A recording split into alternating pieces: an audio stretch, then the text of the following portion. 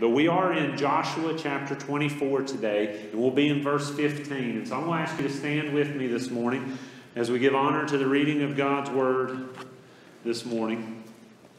And we're in Joshua 24, and this is how it reads in verse 15. It says, And if it seems evil to you to serve the Lord, choose for yourselves this day whom you will serve whether the gods which your fathers served that were on the other side of the river, or the gods of the Amorites in whose land you dwell. But as for me and my house, we will serve the Lord. So let's pray. Father, we do thank you for your word and what it means to us. And Father, we give honor this morning to the reading of your word because it is so important. It is so uh, life changing, Father, that we uh, stand to give honor and respect to the reading of your word. Father, I pray that as we uh, look today at the, the life of Joshua and see uh, the wisdom of the years that you gave him and the wisdom that we can take from those years that you gave to him and the wisdom he had, Father, I pray that our lives would be changed. I pray that our families' lives would be changed. I pray that our community and our world would be changed.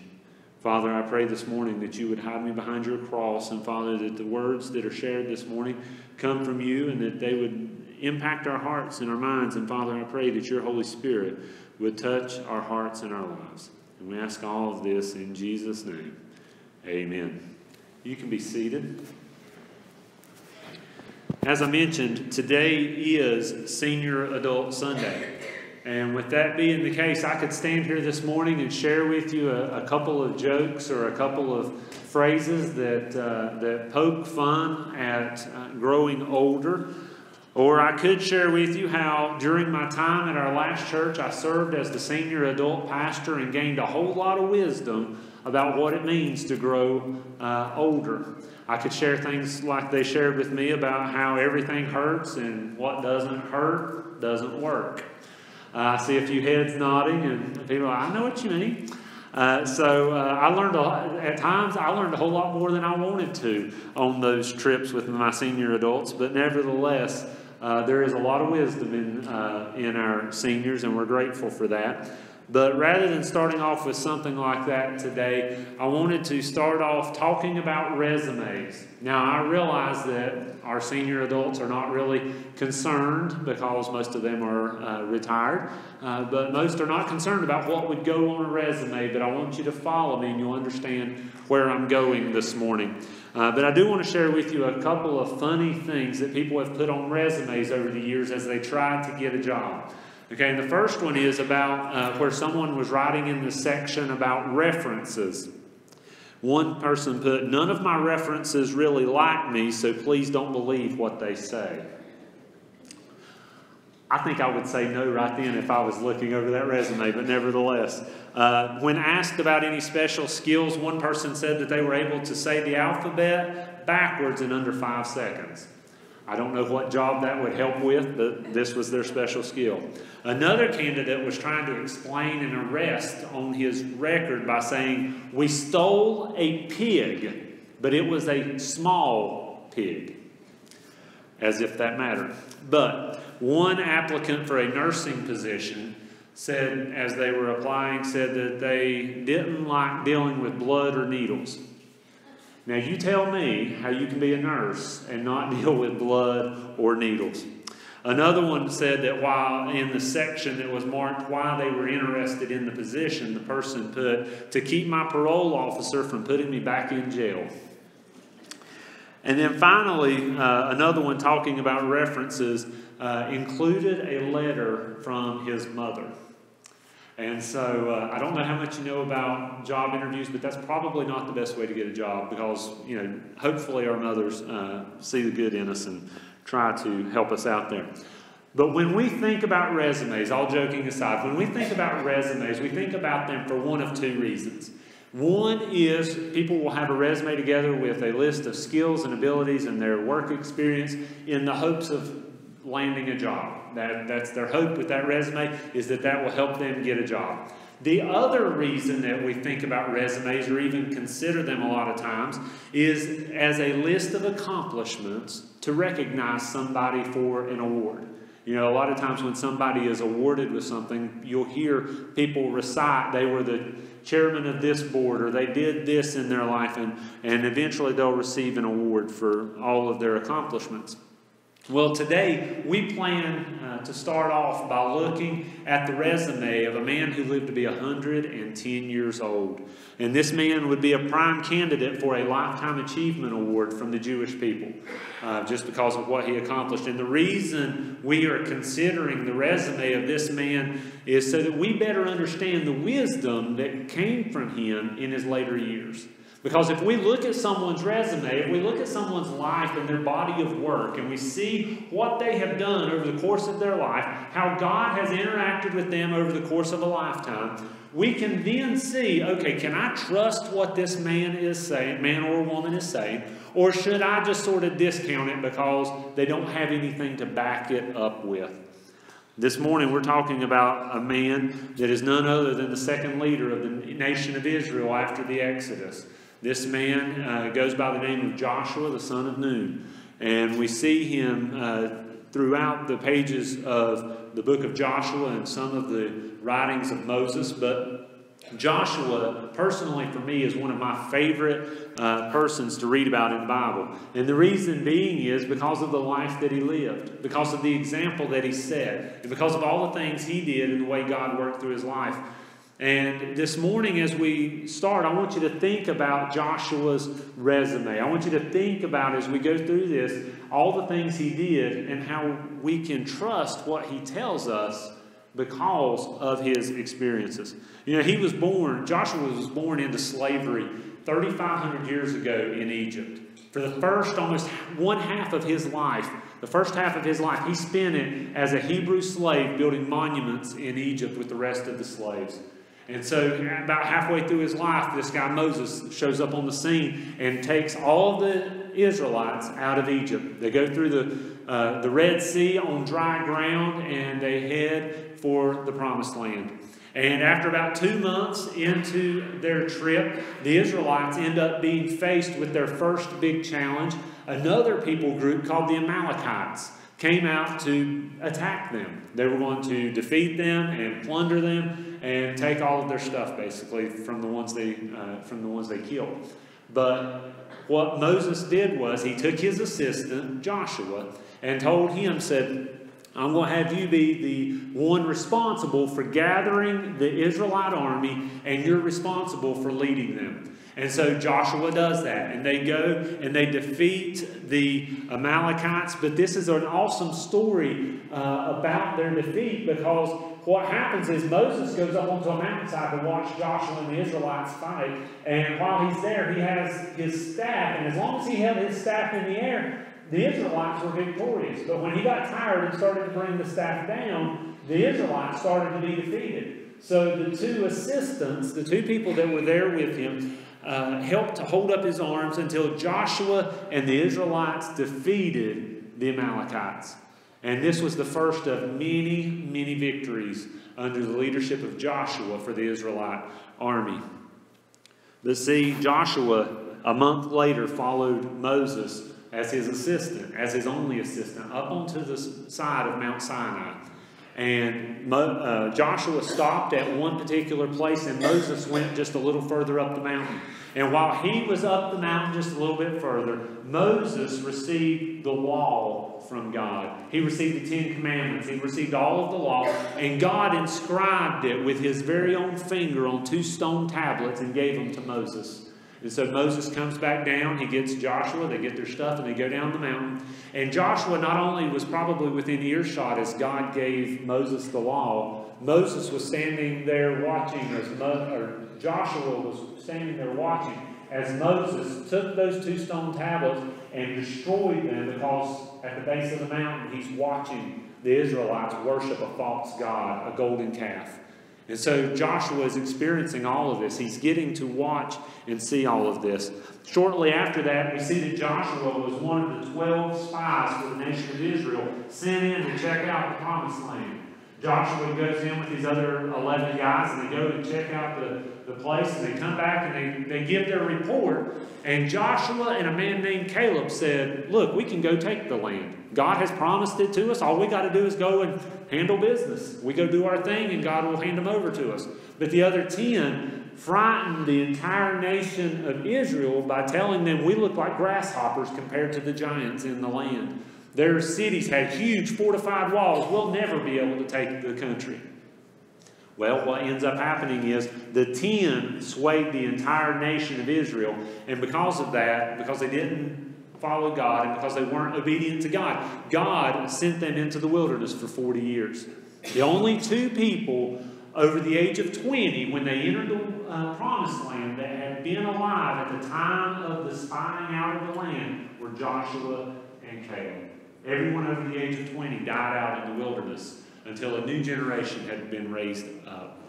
But see, after the 40 years in the wilderness, God chose Moses, or chose Moses' successor to be Joshua.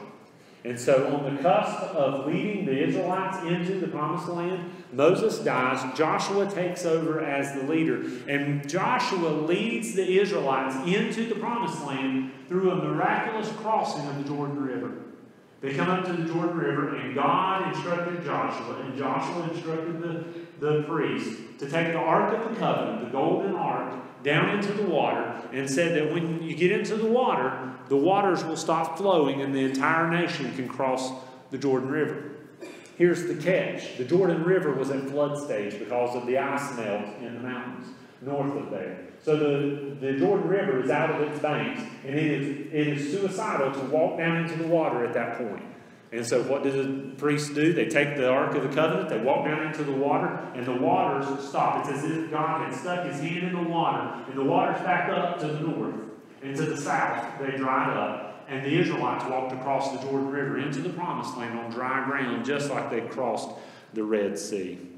And so, as all of this happens, you know, Joshua is just probably days away from being installed as the leader of the Israelite uh, nation. And God said some special things to Joshua when he first took over, before he even stepped foot in the promised land. And see, some of his first words are words that we take comfort in today. Because he says in Joshua 1 9 that God told him, Have I not commanded you be strong and courageous? Do not be afraid, do not be discouraged, for the Lord your God will be with you wherever you go. God told Joshua this so that when it came time to step into those flood waters, when it took or when it came time to go into the promised land and conquer the Canaanite people, he knew that God would be with him. And these words had to resonate with him. They had to mean something special to him because of what he had witnessed in his past, but also every day going forward from there with every new challenge that God laid out in front of him. Joshua had to have these words ringing in his ear to help him as they conquered the promised land. You know, after those two to three million Israelites walked across the dry ground in the, what was the Jordan River, we see that they set their eyes on their first city that they had to defeat, and that was the city of Jericho. And so God gave instructions to Joshua once again, and Joshua gave his instructions to the people of Israel. And what the instructions were was for the people of Israel, the army and the priests, and the priests were to take the Ark of the Covenant ahead of the army. They were to walk around the city of Jericho one time each day for six days. And after that, what would happen is on the seventh day, they were to walk around the city seven times, blow the trumpets or the ram's horns that they had, and at that time, the city walls would come falling down. And that's exactly what happened. And as soon as God brought the walls of Jericho down, the Israelites rushed in and destroyed the city of Jericho. Pretty impressive for their first victory. It struck fear into the people of, of Canaan. And so they go to their second city, a city named Ai. And as they go to this city to defeat them, they get routed. The only loss that Jer- Joshua faced as the military leader for the nation of Israel. He gets they're defeated and they can't they don't really know why. And Joshua goes to God and says, Why did we lose? And, God informs him of sin amongst the army. And it was a man named Achan who had taken things from Jericho when he wasn't supposed to. And once they dealt with Achan and his sin, what ended up happening? They go back to Ai and they completely destroyed the city. And from there on, they conquered the rest of the Canaanite people. See, one victory after another led to uh, different victories. They defeated people in the north and in the south. And there was even one case where they were running out of daylight. Anybody ever had that happen to you? Just didn't have enough daylight to get the job done. This week's been haymaking season for a lot of people, and there just sometimes there just ain't enough sunlight, daylight, to get it all done. Well, Joshua did something that I, I might try the next time I'm on the tractor and I'm running out of daylight. Joshua told God, he said, he said, basically, we need more time. He said, he asked God to make the sun stand still. And so what did God do? God held the sun in place long enough for Joshua and the Israelites to defeat the Amorites. And that's just another example of another victory that God brought to them in a miraculous way, but it was God doing it through the people. And for the next five or six years, Joshua led the Israelites as a political, military, and spiritual leader. He, he did a lot for the people. And when the major battles, defeating the major people groups and the major kingdoms inside the promised land were done, Joshua handed over the responsibility of, of defeating the, the smaller villages and the smaller people groups to individual tribes. Judah was responsible for defeating the Canaanites inside their borders. Simeon's tribe was responsible the same, and Benjamin, and so on and so forth. Now, when we look at this impressive resume and we really take into account what Joshua did uh, for the people of Israel, and we see how passionate he was about following God and serving God and being obedient to God's commands, then we find a man that who, who would have been full of plenty of wisdom in his older years we would have seen a man that we could take stock of what he said and know that he's speaking the truth because of what he had experienced. We're talking about a man who saw God part the Red Seas and walked across on dry ground. The man within earshot of God giving Moses the Ten Commandments. The man who saw God faithfully deliver enemy after enemy after enemy after enemy into the hands of the Israelite army. Why couldn't we trust what he said? Why couldn't we trust this wisdom from him? And when we consider all that he witnessed and we consider all that he experienced in his life, we have no choice. There is no good option other than to listen very carefully to what wisdom he shares with us. See, not long before Joshua died at the age of 110, Joshua called all of the people together at Shechem, where, uh, where he lived. And so, as the leader of the nation, everybody came together to hear what he had to say, sort of like a State of the Union address, if you wanted to uh, compare it to our modern government. And when he addressed them, he gave them one choice that we read about in today's text a little earlier. He gave them the choice between deciding whether they were going to serve God or serve the false idols, the false gods of the land. Joshua laid out for them their two options.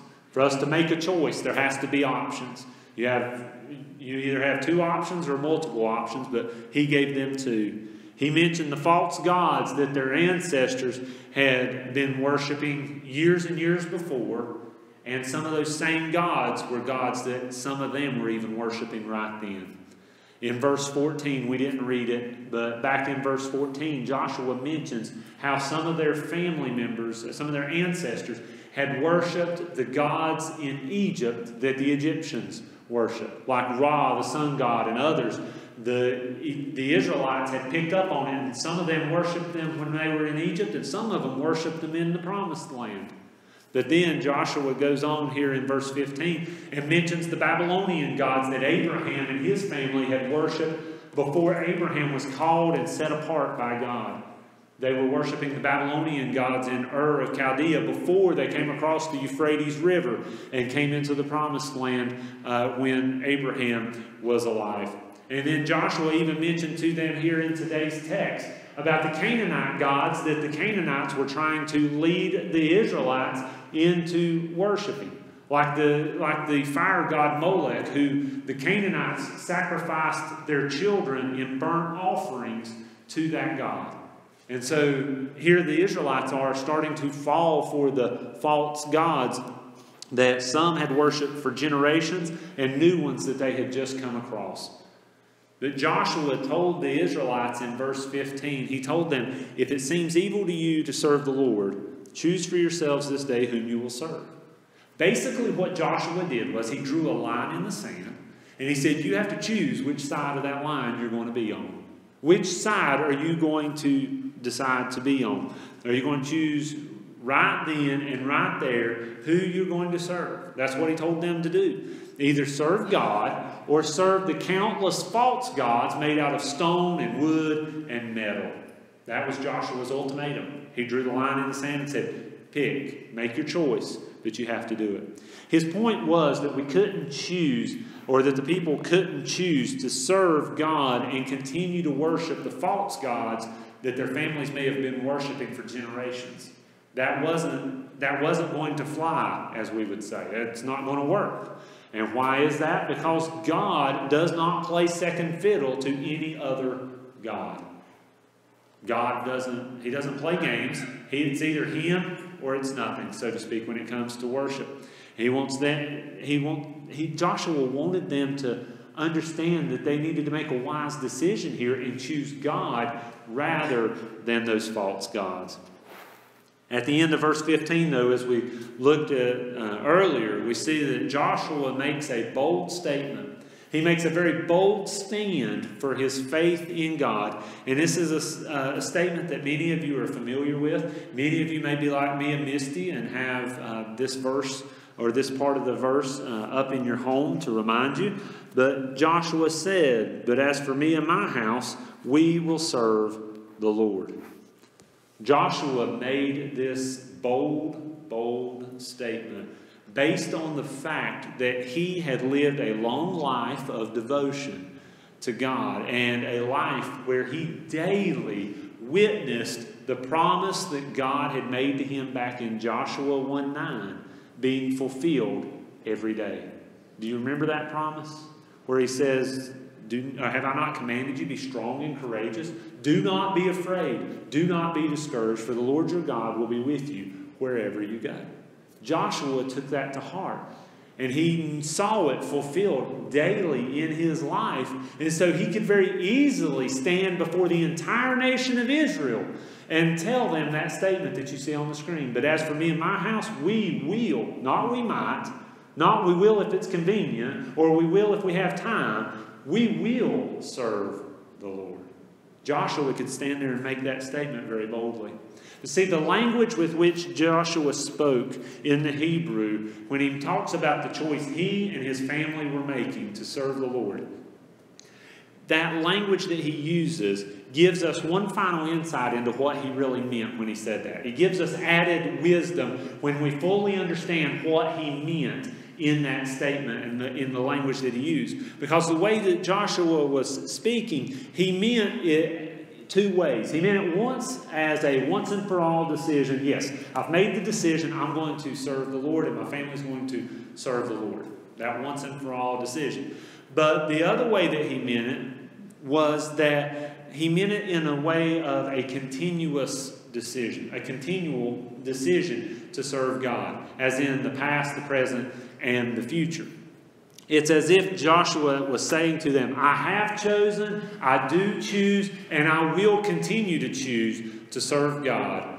Me and my family will continue to do that. Joshua had made up his mind that he was going to daily, not just on Sunday, not just on Wednesday, not just when it's convenient or when people are looking. He made the decision that he was going to serve God every day of his life because he had done it so many years of his entire life. See, Joshua could boldly claim his choice based on a lifetime of experience, watching God fulfill his promises, watching God deliver enemy after enemy, watching God do things that no one else could have done through the nation of Israel. Joshua made that decision based on a lifetime of experience with God. See, when you look around this sanctuary today, you can see many senior adults who have lived a life similar to that of Joshua. No, Most have not ever fought for their country or their nation. Some have, and we're very grateful for those that have. But most have not done that like Joshua had.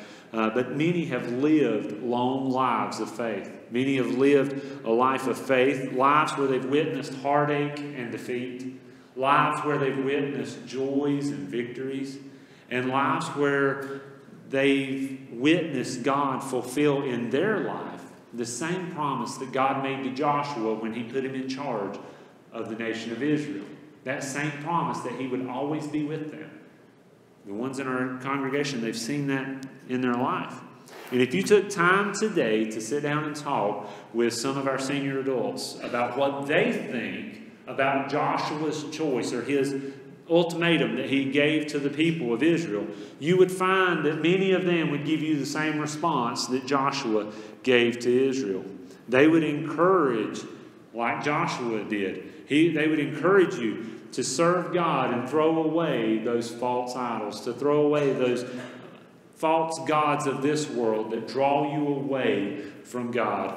They would tell you how they and their family have chosen to serve God throughout all their days. They would tell you how they chose in the past, how they chose in the, choose in the present, and how they will choose in the future as long as God puts breath in their body to serve God. They would be a great beacon of hope and encouragement with their steadfast devotion to God. The, the question remains how would you respond to that ultimatum? How would you respond when that line is drawn in the sand, when, when their encouragement is to choose between God or all of the false gods that are out there? Would you respond like the Israelites did when Joshua gave this very rousing speech, capped off by the verse that we read today? When Joshua demanded a decision from the Israelites, they gave him an answer. And they gave him a very similar answer in three verses as Joshua continued to press them for a decision on whether they would serve God or not. Here's what those answers were They said, We also will serve the Lord, for he is our God. We will serve the Lord. And then they said, The Lord our God we will serve, and his voice we will obey. Three times Joshua pressed them to figure out which side of the line they were going to be on and he pressed them for a decision. But the only problem with the answers that they gave is that it, they were basically lip service. They basically said what Joshua wanted to hear, and they told him those words. Because, see, in, in what they said, there was no continual action.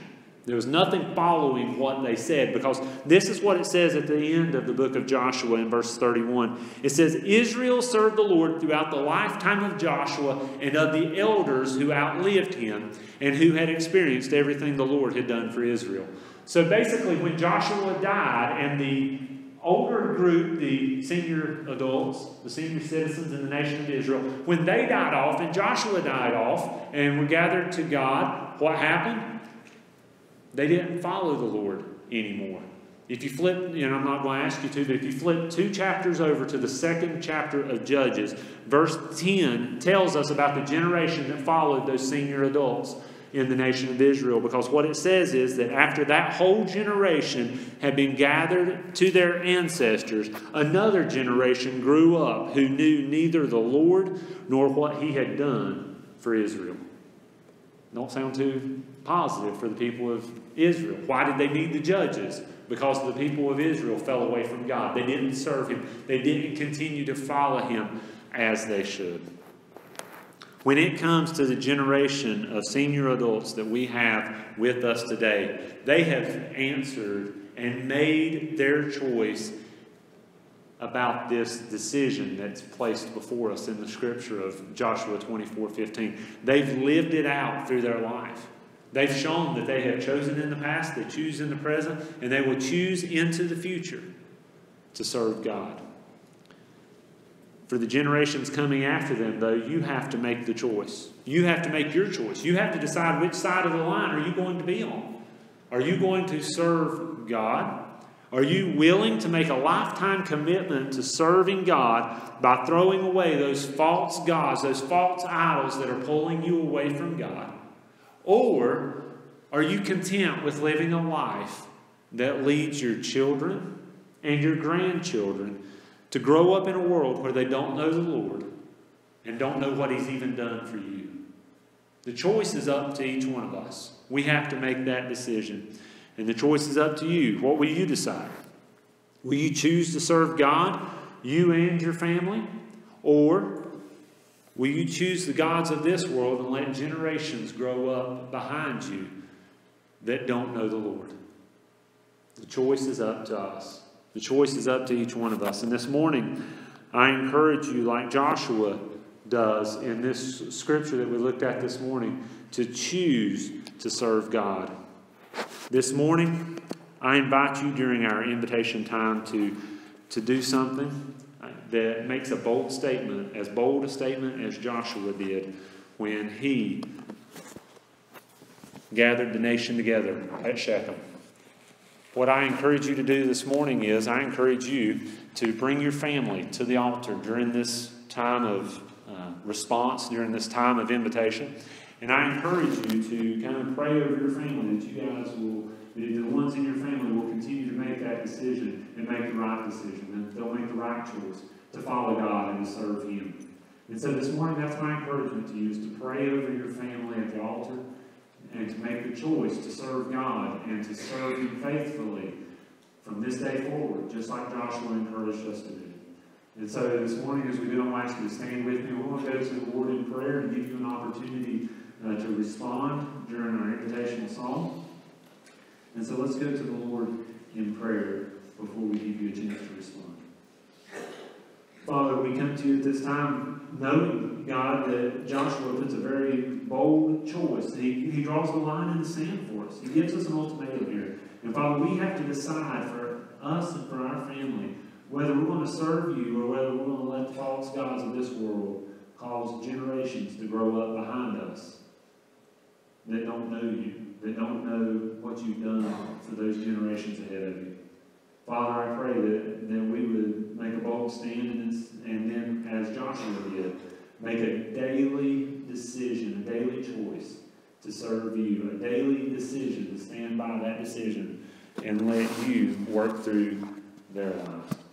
Father, I pray that uh, as you've spoken to us today, that Father, we would respond however you're leading us at this time. In Jesus' name we pray. Amen.